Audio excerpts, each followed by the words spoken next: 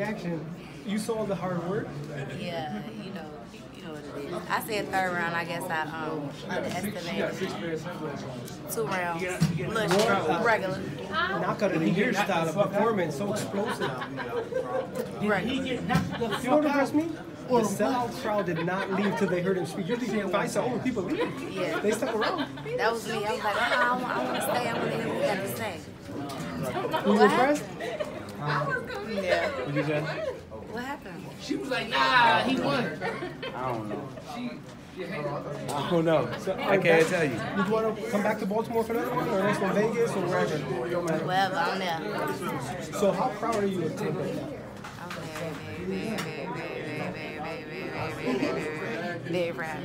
You know, nobody knows already. only go Because and all they set see him one walking the video ring. They don't see the endless hours three times a day, two times cutting weight. But he did a great job. He did. There you have tell everyone where to follow you. Oh, Elie, I'm gonna kick your ass. The real Kyle sister. And where do they follow Gervonta? Gervonta with two A's. Why does he have two A's? I don't know. He must think he owns something. Somebody probably took that extra A.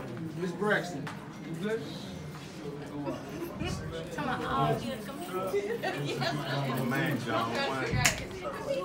Family and friends over here. Thank you so much for all your help this week. It was great. Good stuff. Love you, Elie. Thank you so much. We'll see you guys soon.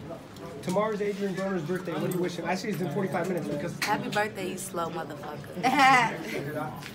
he and this bitch with no shirt on somewhere walking around with a, a Versace vest. How much you should wear you saw that. He I crazy. didn't, I didn't buy it, so I don't know.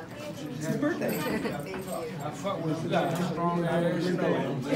Stay tuned right here. Marshall Davis. Very impressive win. Thank you. ESNewsReport.com and Melly Seckbach reporting. And you can follow me on Twitter at Seckbach. Follow me on Instagram at Elie Seckbach.